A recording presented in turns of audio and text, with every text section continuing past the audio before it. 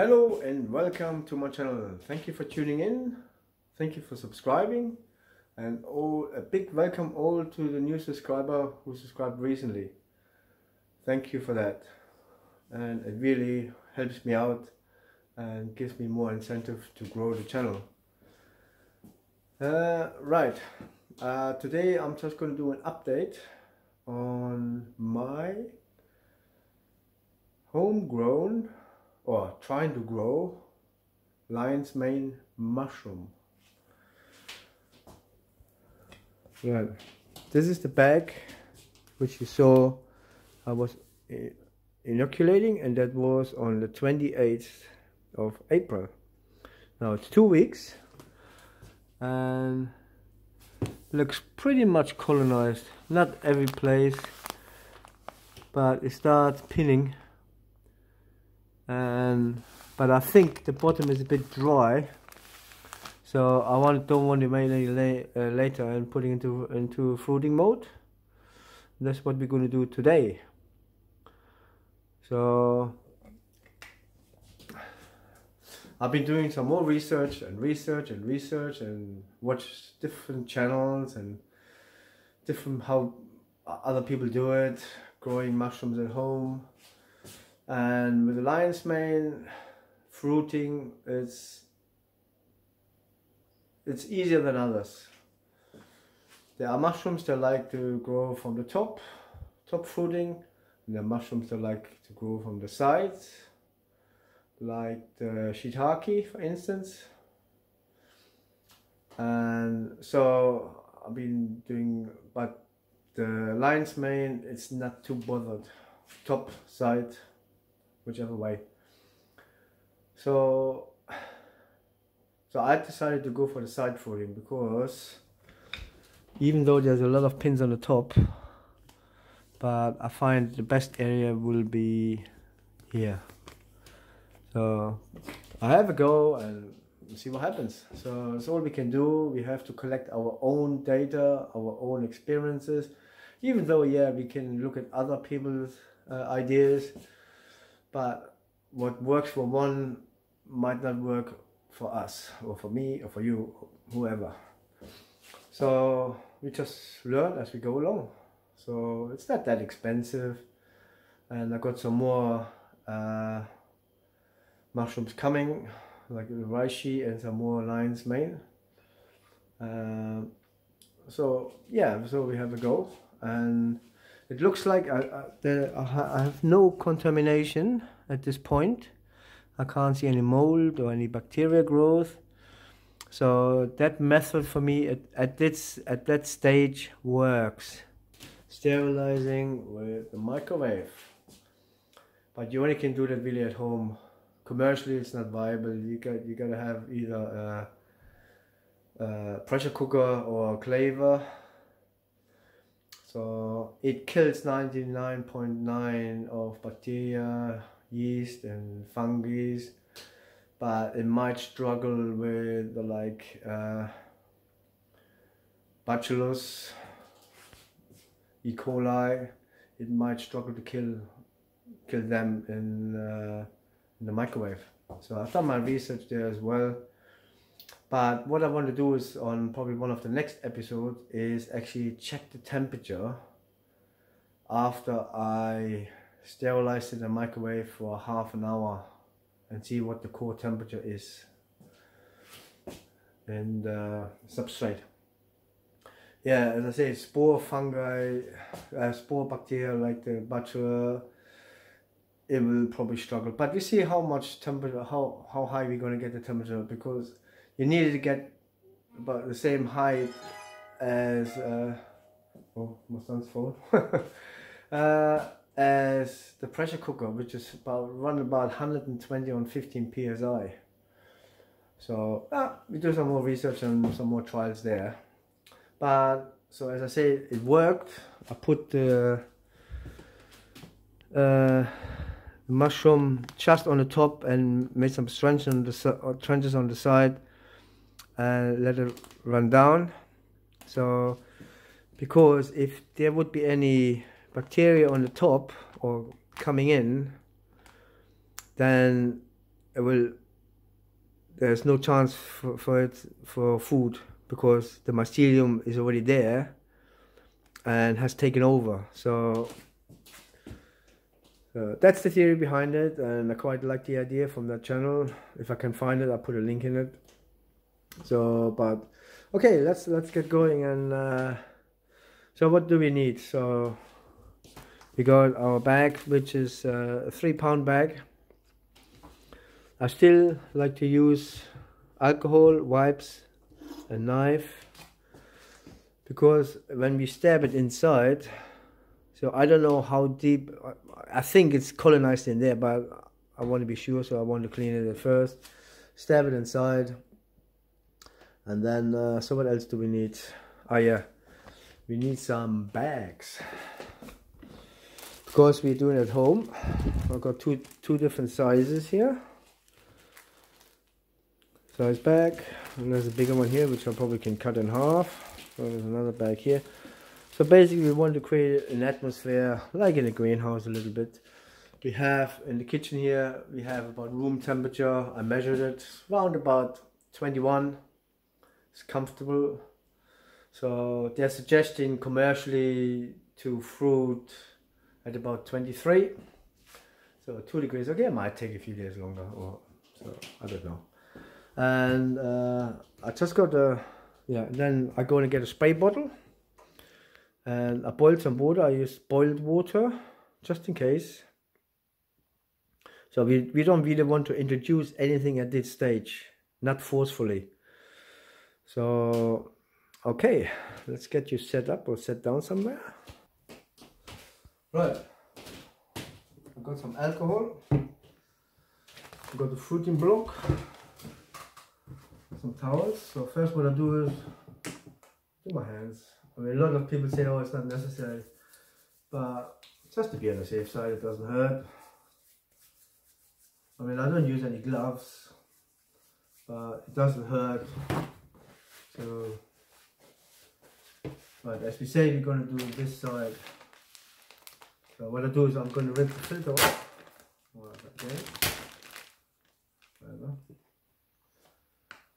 Right, I'm gonna making a cut.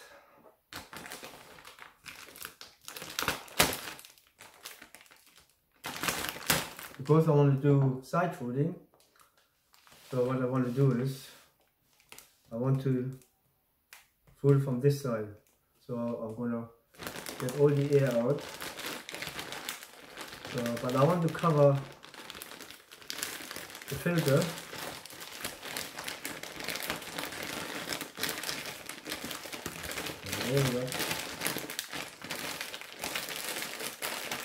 No air whatsoever. Okay, let, let me get some tape. I'm going to tape it all down.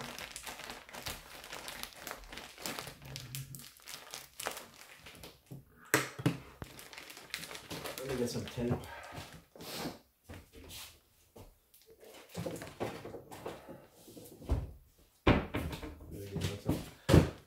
packaging tape or duct tape, all we do. Me test how long you can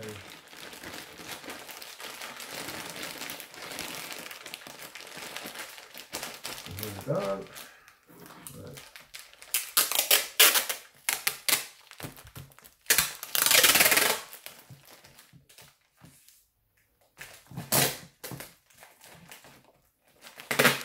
Go underneath it.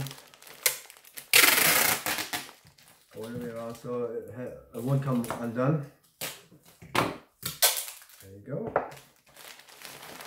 Right. So, but also what I'm going to do is I'm gonna put a strap around this side. So basically we want to fold it from this side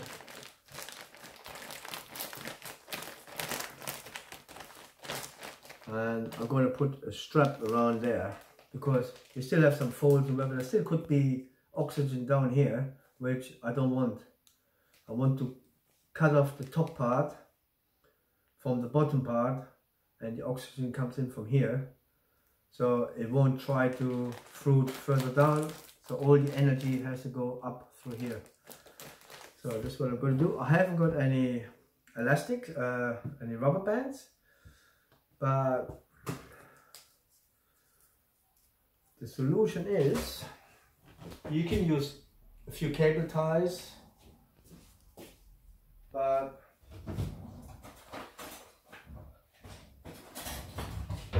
but we can make something out of film.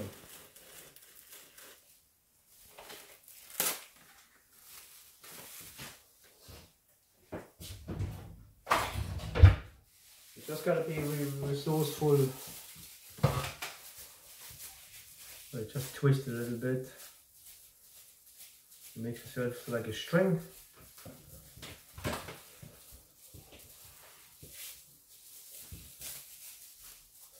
Right. There's about so like a couple of inches under the, from the top. We're just gonna put a restrictor on there.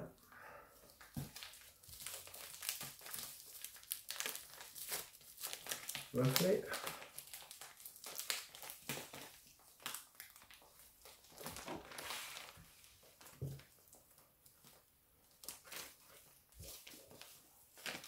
Go. loop. So that should cut it off from the outside world. right, and then, I mean, most of the mycelium is around about here. So just gonna make a couple of slits in there, say X. So let's go quite deep. Because the block is not very big, so I don't want to make the cut too big and I forgot the alcohol. but I put a new blade in it, so yeah, there you go.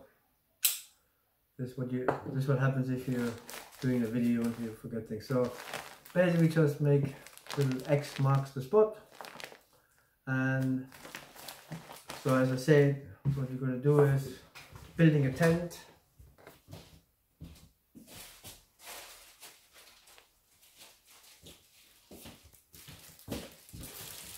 So, but I do will I'll, I will wipe the inside of our little tent. Whoops.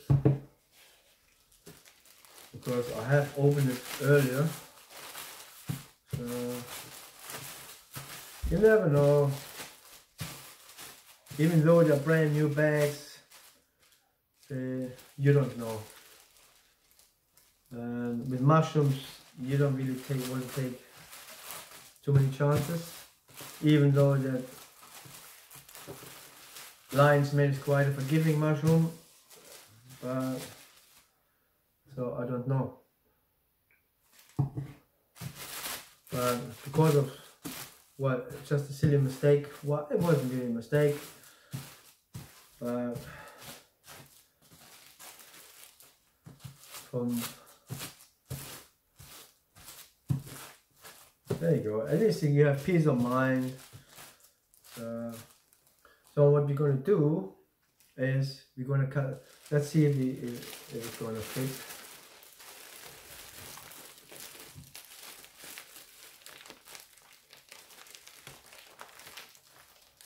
Uh,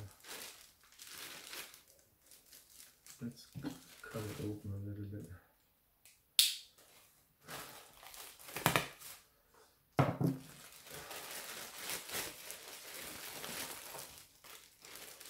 If it doesn't, you can use a bigger one. So I think it's a bit tight. So we're going to discard this one and get another one.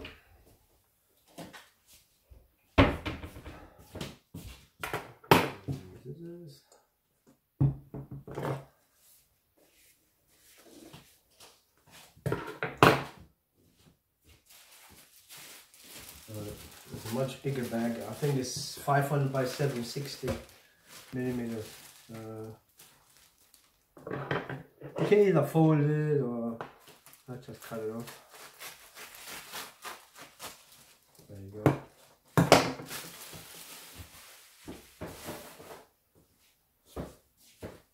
or you can make yourself or build yourself so like uh, what you put over cakes and just cover it with a plastic so again take a bit of alcohol quickly I'm still pretty wet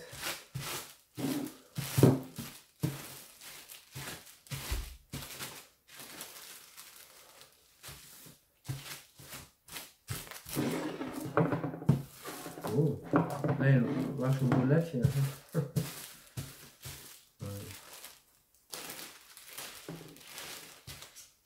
right. As I said, I'm, I'm also new to this, uh, it's quite fascinating, even though I, I like foraging for mushrooms and for many, many years. But it's quite exciting to uh, actually grow your own or trying to. Well, it keeps your mind, whoops, your mind occupied. You try new things. See, even it doesn't work in the first attempt, you just adjust, correct your mistakes, try again until you succeed. That's what it's all about. This is how the commercial grower started. Learn from others and uh, implement it. Right. Okay. So, so you have a little, that's all you need. Little tent. So what you're going to do is just cut some holes in it. But I don't want to cut the holes too high up because moisture rises and I don't want the moisture to go out of the top. So you're going to cut some into the sides and then as hopefully as it starts growing you can then adjust and look look at the, uh, the fruiting body and see how it reacts does it turn color does it go right? Is it too dry too wet? So that's then is you have to nurse it like a nurse. So I'm gonna cut some. There you go.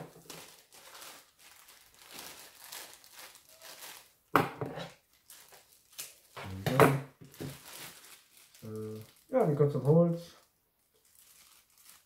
Uh, another one here. This can take both sides.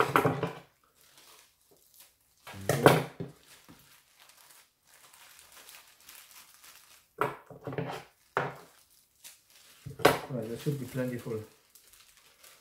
Uh, so basically, it needs it needs oxygen now.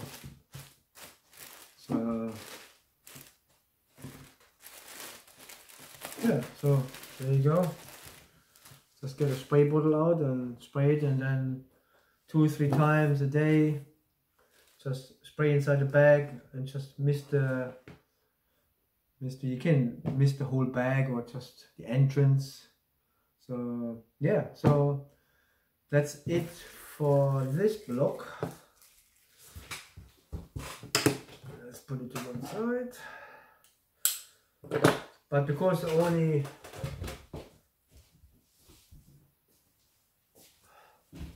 because I only used half the the, the spawn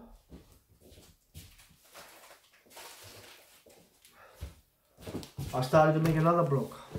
This is a four pound block. But unfortunately I didn't have any more fruiting bags so I had to use uh, spawn bags which should be alright because when as I can see it's racing. It's been now seven, six days since inoculation. I've done it exactly the same way as the other, as the first one.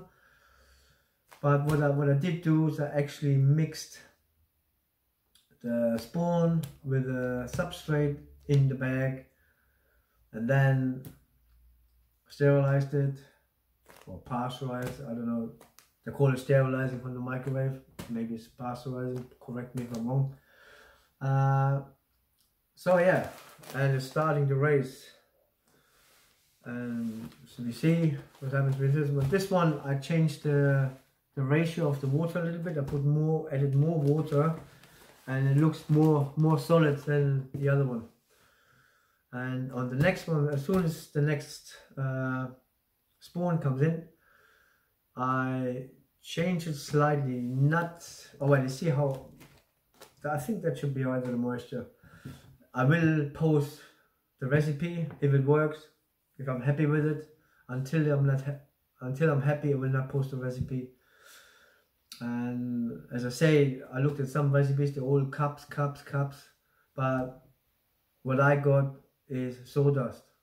So the cup version doesn't work and nobody gives you measurements really, so I had to figure it out myself. Uh, so anyway, that looks pretty good. It's colonizing nicely. I can't see any contamination. As I say, I've done the same.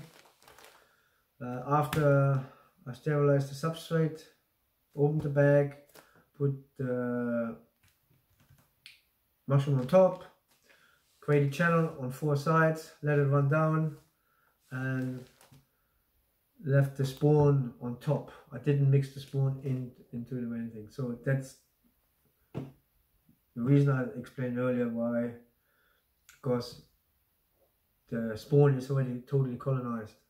So there's no way for, for bacteria to find food up there. So that's the theory behind it. Let, let's see how we end up with the end product. And this are my top fruit. But depends on how, how it's going to look. This one are my top fruit. Because I I got no grow bags. I only got uh, yellow bags. Anyway, I hope you found this useful. Any questions, please ask. Leave the comments below or any suggestions. And uh, yeah, I just want to say the reason why I want to grow is uh, lion's mane because I never tasted them before and because also of the health benefits. I'm, as I make my own tincture anyway, but I want to have some fresh lion's mane, organic lion's mane that I grew and I know it's got nothing else in it. So anyway, we see you on the next episode. Thank you for watching. See you later. Bye bye.